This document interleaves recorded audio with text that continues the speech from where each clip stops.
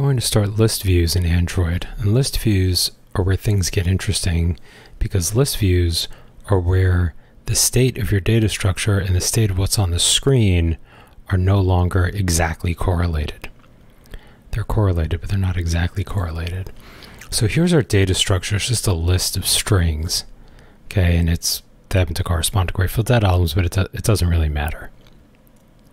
We have this this immutable list. Okay, and we're in main activity. And we come in and on create and we do the same things we always do. Call super, call set content view, and initialize the toolbar. Here we're doing things a little bit, a little bit more panache. So first of all, let's take a look at activity main. That's our layout.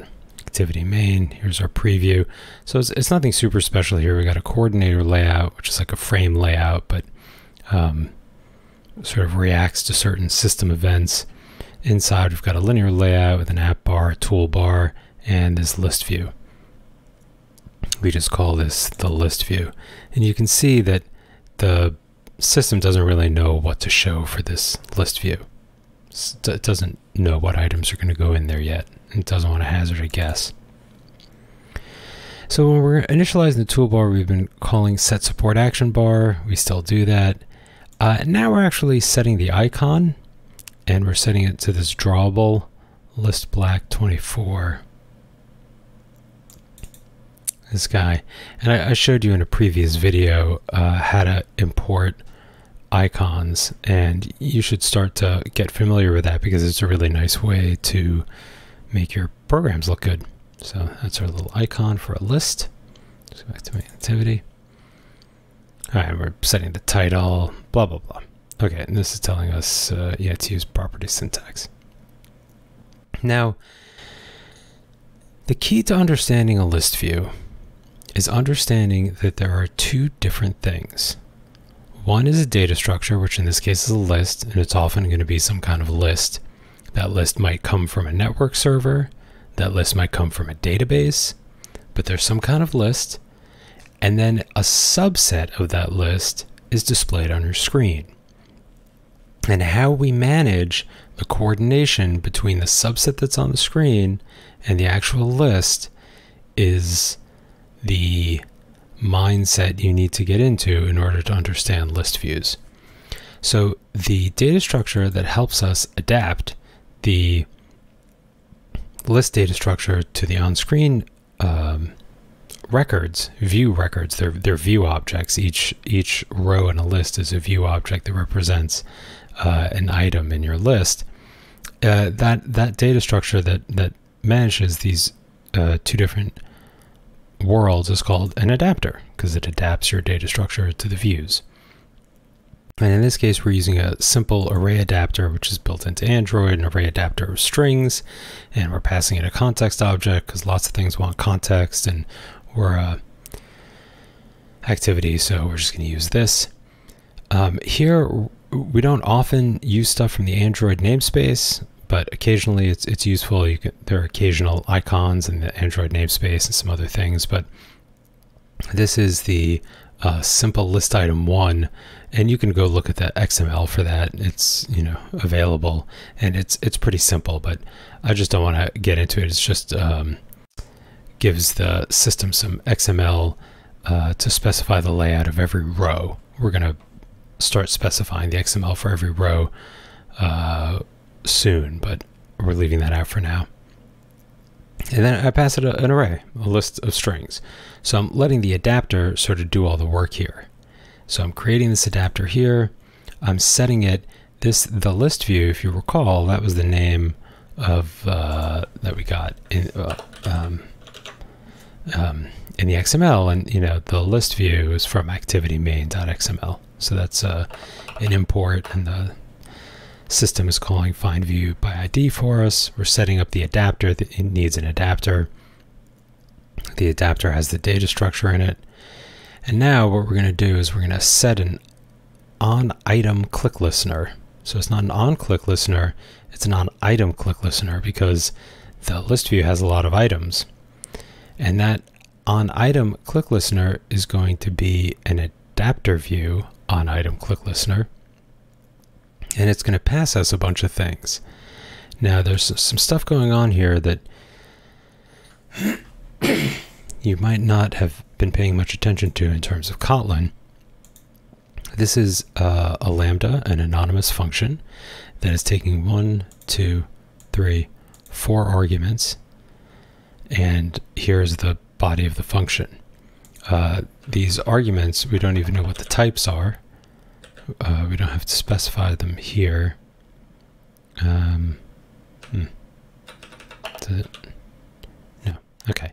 You can you can look up the documentation for adapterview.onitem click if you want to find out the types of these things. If you don't use it, a Kotlin has what I consider sort of an annoying anti-feature where if you don't use the name of a parameter, it tells you to turn it into underscore. The name gives you some idea of what it is and what the type is, and so uh, I like to keep it around, so I just put it around in a comment. But I don't, I don't like the compiler complaining at me, so I took them out. Uh, the things, the uh, parameters we're getting to this function are an adapter view and a position. Those are the important things. So, and we're passing in these arguments. We now create this string where uh, we put the position that is being passed in i, and then we are also getting the item at that position. And the item is going to be a string because that's what we're passing in, this array of strings. So the item at zero is the Grateful Dead, blah, blah, blah. And so on. And then we put that information in a toast, which will say you selected item and the number, and then the actual string value of that item.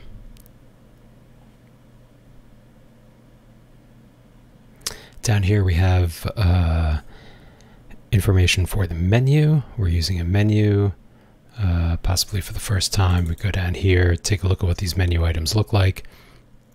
We have a bunch of icons, and uh, you specify what order you want the icons in with this sort of number. So these, this number goes up, and we're telling it. Uh, I guess it yeah, it doesn't it doesn't like always. Let's, let's use if. So if if there's room, uh, use uh, the icon. Um, otherwise, you can use the name, but we want icons. They look good, and uh, we're using these these icons from the uh, drawable folder, and I, I showed you how to do this in a different video. But getting icons are pretty nice way to up the polish level of your app. Let's let's see where where this garbage can come from. Delete black.